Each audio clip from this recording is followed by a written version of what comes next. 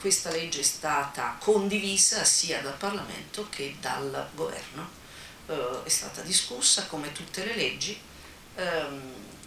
e eh, ci è sembrato di aver raggiunto un punto di equilibrio tra le esigenze giustizialiste, lei ha usato questo termine, io credo che la giustizia non sia mai giustizialismo, tra il, la, eh, il carattere giustizialista di alcune richieste um, eh, l'estremo di non fare nulla, perché l'alternativa era di non fare nulla e lasciare le cose immodificate. Le esigenze giustizialiste di quel momento eh, mettevano voce eh, ad una serie di richieste di eh,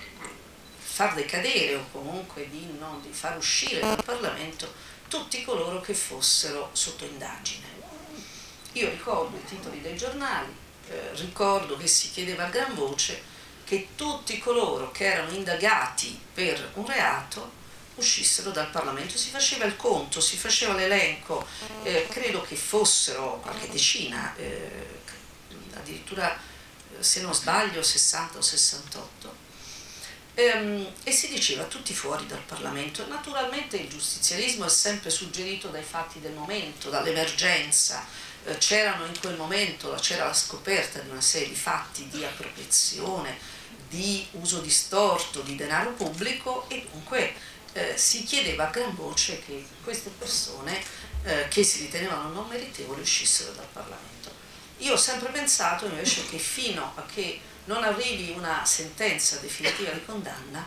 eh, la presunzione di innocenza che è tipica del nostro ordinamento ed è sancita dalla Costituzione non permetta di eh, fare degli interventi così drastici come quelli di eh, proclamare o chiedere al Parlamento di valutare la decadenza di un suo componente. La pronuncia della decadenza è una pronuncia del Parlamento.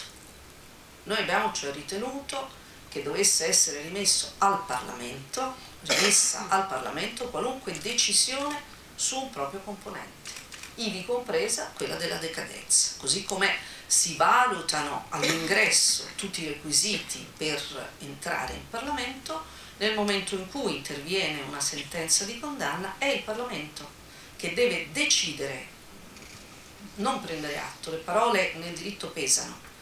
deve decidere se un suo componente, un suo membro debba decadere oppure debba rimanere in Parlamento.